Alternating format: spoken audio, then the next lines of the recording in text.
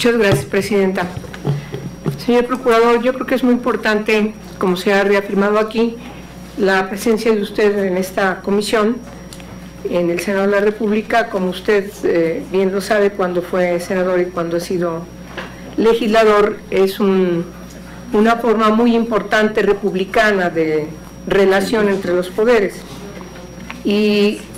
obviamente eh, el tema que hoy ocupa su presencia eh, en esta comisión, en el Senado, tiene que ver mucho con Mm, si me permite decirlo, una especie de percepción respecto de que no se vaya a actuar con impunidad frente a un asunto que ha motivado eh, que esté en la principal plana de los medios de comunicación,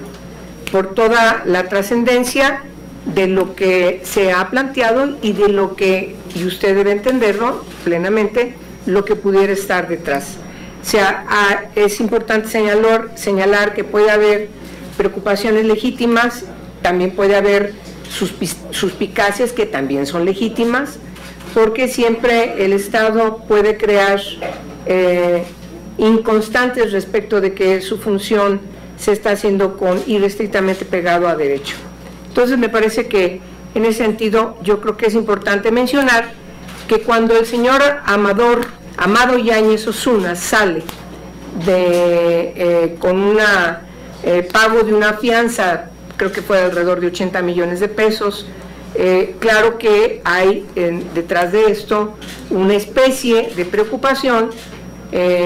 en, el sentido de que pueda haber ya un camino hacia, que, hacia la impunidad. Nos preocupa que la dependencia a su cargo y funcionarios encargados de la, de la investigación puedan tener eh, ser omisos en la integración de las pruebas de manera particular y de las evidencias contra eh, los presuntos responsables. Eh, permítame enfatizarlo que es una preocupación legítima y agradecemos mucho su presencia aquí en ese sentido porque intentamos tener constancia de que efectivamente tenemos que confiar en las autoridades y si tenemos dudas en ese sentido es importante aclararlas. Ese es el sentido de esta reunión. Eh, eh, se ha difundido por los medios de comunicación eh, a partir de sus declaraciones respecto de que el quebranto a Banamex haya, sido haya sido perpetrado por funcionarios bancarios y no precisamente por el señor Amado Yáñez Osuna. Yo creo que es importante que se aclare, eh, y se aclare sobre todo que tenemos medios de comunicación acá. De hecho, usted ha señalado que existen órdenes de aprehensión contra cuando menos 10 funcionarios de Banamex, entonces me parece que son exdirectivos eh, entre ellos de Banamex. Entonces es importante que eh, se aclare y nos pueda informar con pertinencia. Existen, mi pregunta, otras líneas de investigación eh, para los casos de servidores públicos eh, de Pemex. Usted ha mencionado algo, pero me parece que una cosa es la institución y otra cosa es en particular funcionarios de Pemex y eh, también de otras dependencias. Y por supuesto, me interesa mucho que nos pueda informar qué otras empresas pudieran estar involucradas en el caso de oceanografía, aún sabiendo el sigilo de las investigaciones. Hay varios eh, vericuetos relacionados con distintos eh, nombres que han surgido en medios de comunicación también respecto a si han tenido alianza o no, si han estado involucrados o no, eh, que me parece que han sido ventilados. Hay un tema muy importante ventilado por Riva Palacio que seguramente usted conoce,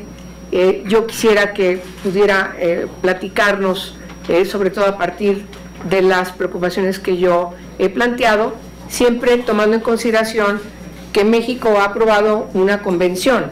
eh, sobre, eh, contra la corrupción en el marco de la lucha contra la delincuencia organizada transnacional y me parece que esta convención eh, plantea de manera muy puntual cómo los estados parte también tienen que ser muy perseverantes y siguiendo siempre el principio de proporcionalidad cuando se trata de delitos que tienen que ver con el sector privado, también sean ejemplares para disuadir que se tengan que seguir eh, la prevención contra este tipo de delitos. Por favor, muchas gracias. Muchas gracias.